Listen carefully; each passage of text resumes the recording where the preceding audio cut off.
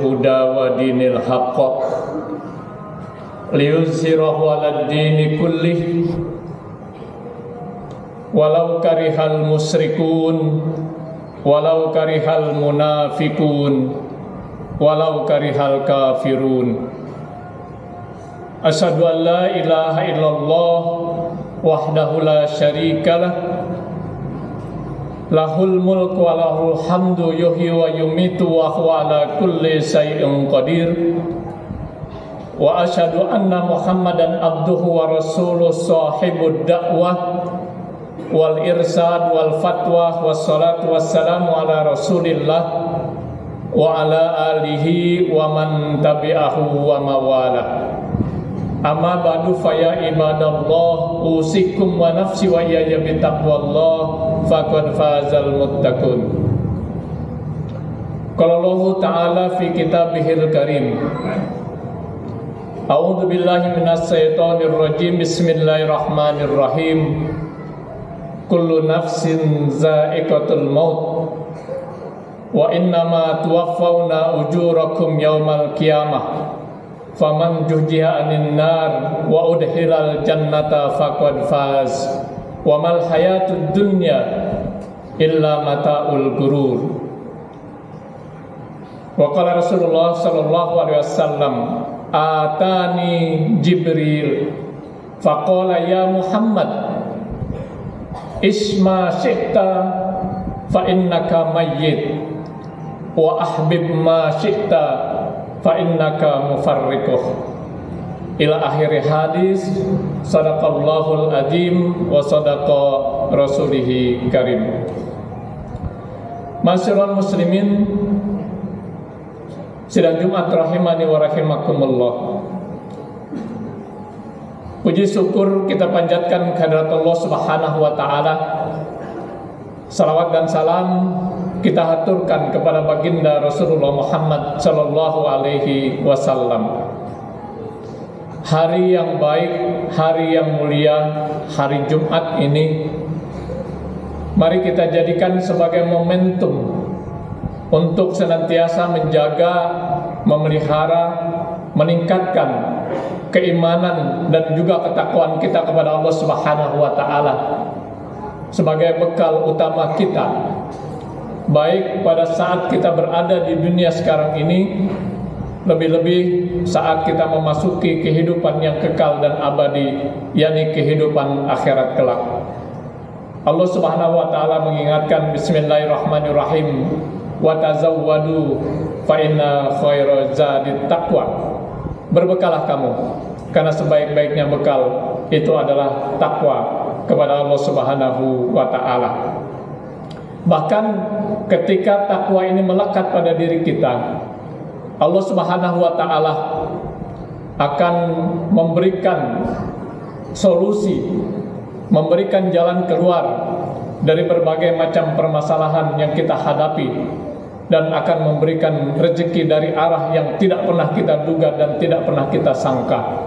Wa may yattaqillaha yaj'al makhraja wa yarzuquhu min haitsu la yahtasib. Tema khutbah Jumat kita hari ini saya sampaikan tentang lima pesan malaikat Jibril kepada baginda Rasulullah Muhammad sallallahu alaihi wasallam yang hakikatnya adalah untuk kita sebagai umat dan pengikutnya. Masyarakat muslimin sedang Jumat rahimani wa rahimakumullah. Sahal bin Sa'ad menuturkan bahwasanya Rasulullah Shallallahu Alaihi Wasallam bersabda, Atani Jibril Fakola ya Muhammad Datang kepadaku malaikat Jibril. Lalu berkata Ya Muhammad Wahai Muhammad Isma syi'ta fa innaka mayyit hiduplah sesukamu sesungguhnya engkau akan menjadi mayat wahbib ma syi'ta fa innaka mufariquh Cintailah apa saja yang kamu sukai, yang kamu senangi. Sesungguhnya kamu akan berpisah dengannya. Wa'mal ma syi'ta fa innaka majiyun bih. Berbuatlah sesukamu. Sesungguhnya engkau akan menuai balasannya. Wa'lam anna sarrafal mu'mini qiyamuhu bil lail. Ketahuilah sesungguhnya kemuliaan seorang mukmin adalah ketika dia menegakkan salat malam. Wa a'izzahu istina'uhu anin nas dan kehormatan seseorang adalah ketika dia tidak lagi bergantung kepada manusia. Hadis riwayat Bukhari Muslim. Masyarakat muslimin sedang Jumat rahimani wa rahimakumullah. Walaupun pesan ini ditujukan kepada baginda Rasulullah Muhammad sallallahu alaihi wasallam, tapi hakikatnya pesan ini juga untuk kita sebagai umatnya sebagai pengikutnya. Dalam hadis ini ada lima pesan malaikat Jibril kepada beliau. Yang pertama adalah isma syi'ta fa innaka mayyit fa. Hiduplah sesukamu niscaya pasti kamu akan menjadi mayat.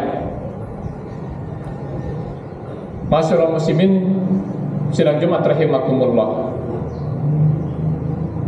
kita pahami bersama bahwa yang namanya kematian adalah suatu keniscayaan. Kematian adalah suatu kepastian. Suka atau tidak suka, senang atau tidak senang, rela atau terpaksa, pasti kita akan mati juga. Bila sudah batas waktunya tiba. Sebagaimana Allah tegaskan dalam surat Al-A'raf ayat 34 A'udzu billahi minasyaitonir rajim Bismillahirrahmanirrahim wa likulli ummatin ajal fa idza jaa ajaluhum la yastakhiruna sa'atan wa la yastaqdimun wa likulli ummatin ajal setiap umat setiap orang itu ada batas waktunya ada ajalnya fa idza jaa ajaluhum la yastakhiruna sa'atan wa la yastaqdimun. Bila batas waktunya telah tiba, ajalnya telah tiba, maka tidak ada yang bisa memajukan ataupun memundurkan. Allah juga mengingatkan dalam surat Ali Imran ayat 185 yang saya bacakan dalam mukaddimah Bismillahirrahmanirrahim kullu nafsin za'iqatul maut setiap yang bernyawa yang berjiwa pasti akan mengalami kematian kita manusia makhluk yang bernyawa. Kita manusia makhluk yang berjiwa. Pasti kita akan mati. Dan tidak ada seorang pun yang bisa menghindar.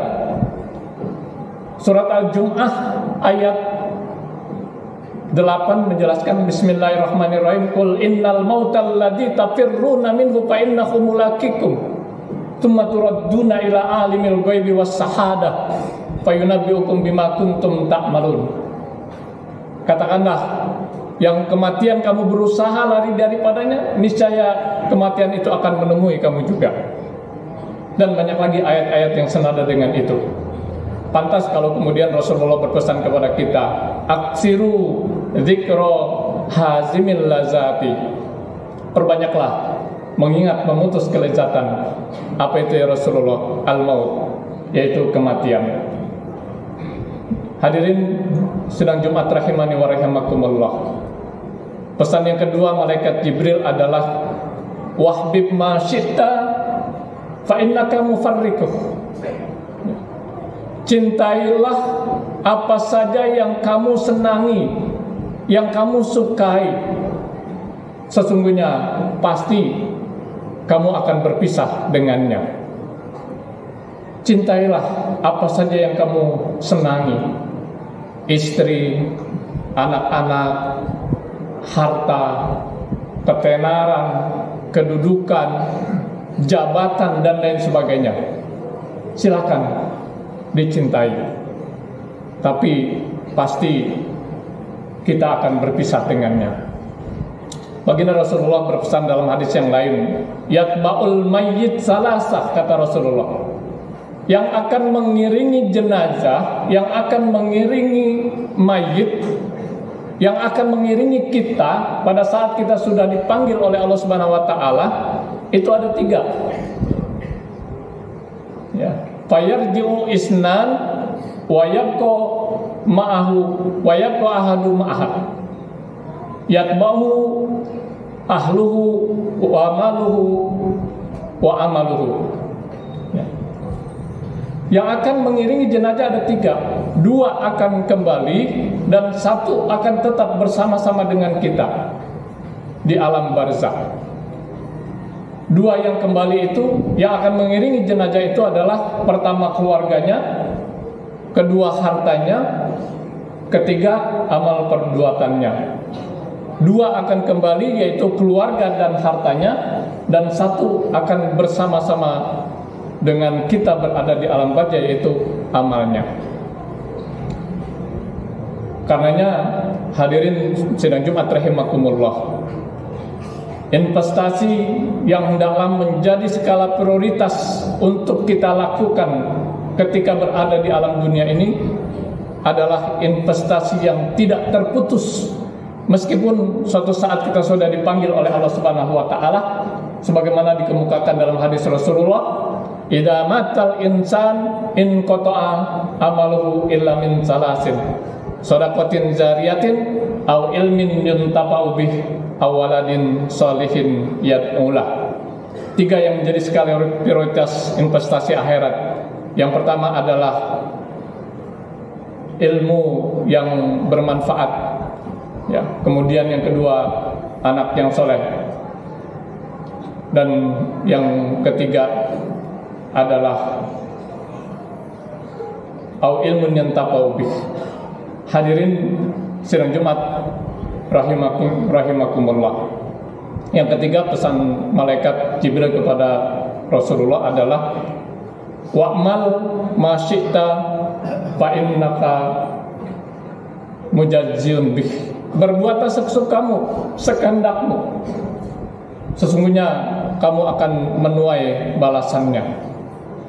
Tidak ada satu pun sekecil apa pun perbuatan yang kita lakukan pada saat berada di alam dunia ini kecuali semuanya akan dibalas oleh Allah Subhanahu wa taala sesuai dengan apa yang kita kerjakan. Surat Al-Jala ayat terakhir mengingatkan Bismillahirrahmanirrahim. Pamay ya'mal miskola darrotin khairan yara Wa may ya'mal miskola darrotin sarra yara Perbuatan yang baik walaupun sebesar jaruh itu akan dibalas. Begitu perbuatan yang buruk, yang jelek walaupun sebesar jarum itu akan dibalas oleh Allah Subhanahu wa taala. Yang keempat, pesan malaikat Jibril kepada beliau adalah wa'mal wa'lam anna sarrafal mu'mini qiyamuhu bil lail. Bahwasanya kemuliaan seorang mukmin itu adalah bila dia senantiasa menegakkan sholat malam. Dalam surat Al-Isra ayat 79 Allah Subhanahu wa taala mengingatkan bismillahirrahmanirrahim wa minal laili fatahajjat bihi nafilatallah asa ayyam asaka rabbuka maqamam mahmuda bila kita gemar suka senang rajin menegakkan salat malam janji Allah akan menempatkan kita ke tempat yang terpuji maqamam mahmuda baik pada saat kita berada di alam dunia ini lebih-lebih saat kita memasuki kehidupan yang kekal dan abadi yakni kehidupan akhirat. Yang terakhir kata malaikat Jibril wa istighna'uhu anin nas bahwa izzah kehormatan seseorang adalah ketika orang itu tidak lagi bergantung kepada orang lain tidak lagi bergantung kepada manusia. Ketika orang itu hanya bergantung kepada Allah dan memang seharusnya kita bergantung kepada Allah. Dalam surat Al-Ikhlas Allah Subhanahu wa taala mengingatkan Bismillahirrahmanirrahim. Qul huwallahu ahad. Katakanlah bahwa Allah itu Esa Allahus samad Allah tempat segala sesuatu bergantung. Termasuk kita manusia bergantung kepada Allah Subhanahu wa taala.